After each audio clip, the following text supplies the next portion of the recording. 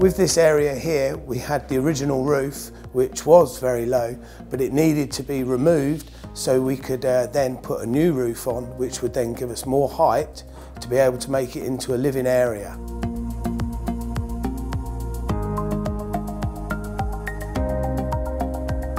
Obviously the back of the roof had uh, two very small ridges. We needed to gain some uh, quite substantial height to make it into a living area.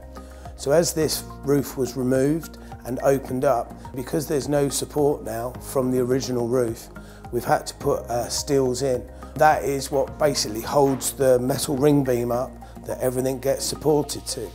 And uh, this steel going through here, because the client didn't want a post here, has had to go through the entire building to the far end, and that's where that is now supported.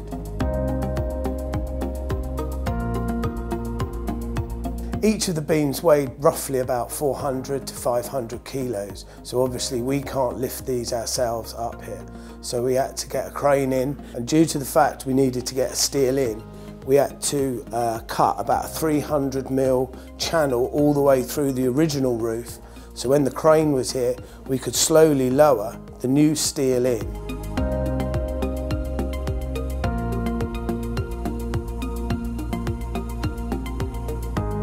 Which obviously the crane driver was down there and then we had uh, a guy on a walkie-talkie up here. They were communicating, we were inside the building. So uh, through four or five different people working together, we managed to get the steel into position.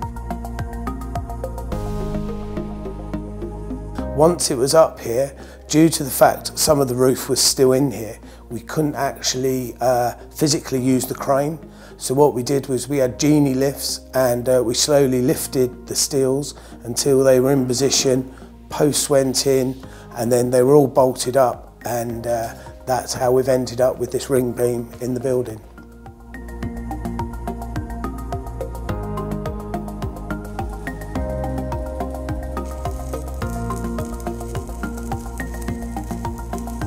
When the roof was actually, the new roof is actually constructed, from that point we can then make the whole building watertight.